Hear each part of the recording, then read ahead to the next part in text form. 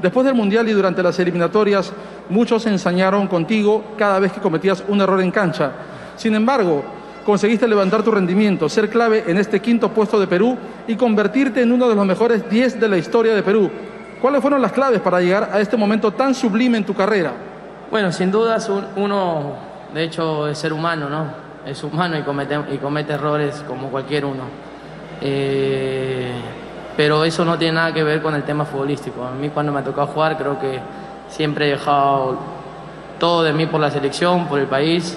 Eh, yo creo que esas cosas se tienen que ver desde otro ángulo, ¿no? Yo creo que hay que analizar bien las cosas, ¿no? Pero más allá de todo eso, eso es un pasado, para mí no, no, no, no suma. Eh, yo veo el presente eh, y estoy feliz por lo que estoy pasando, por lo que estoy pasando con mis compañeros, con la selección. Y eso es lo más importante para mí ahora, ¿no? Porque mi familia lo está disfrutando, tengo a mi familia a mi lado y, y eso me deja muy tranquilo porque los hago feliz a ellos, ¿no? Dan Lerner Patrón, Diario AS. Estimado Cristian, fuiste el mejor de la cancha. ¿Sientes que tu mejor versión siempre llega cuando te pones la blanquirroja?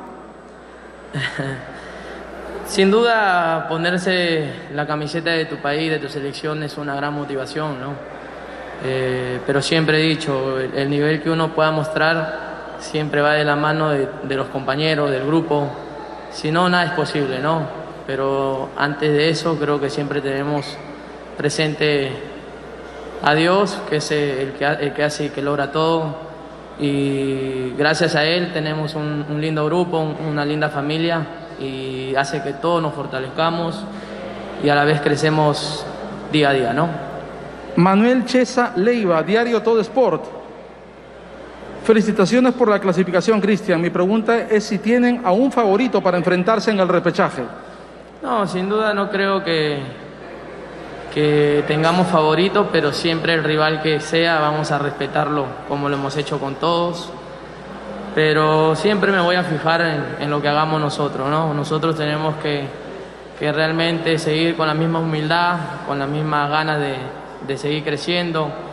Sin duda el partido de hoy es una alegría para todo un país, aún falta un paso y eso creo que ya el día de mañana empezaremos a pensar en el rechaje. ¿no? Julio César Ahumada León, toca y pasa de TV Cosmos. Buenas noches Cristian, ¿cómo te sientes de ser el jugador más importante del equipo en este proceso de clasificatorias por ser el jugador con mayor cantidad de goles y asistencias? Sin duda los números es algo bonito, ¿no? Eh, pero como te lo dije en, un, en una pregunta, nada es posible si los compañeros, el grupo no está fuerte. Yo no crezco si, si no está bien un Mario Tun, un Renato Tapia, un Sergio Peña. Creo que no me considero ni el mejor, yo creo que acá somos un grupo y el, y el mejor es el grupo, el equipo. Eh, y cada uno de nosotros siempre va a dejar lo, que puede y lo que tiene por la selección. Alex Bernal, medio Vescable. Cristian, buenas noches. ¿Qué balance te queda ya concluida esta eliminatoria? Perdón, no, no. ¿Qué balance te queda ya concluida estas eliminatorias? No, sin duda fue una eliminatoria que vinimos de menos a más. Eh, lo que resalto mucho es que el grupo se fortaleció mucho, ¿no?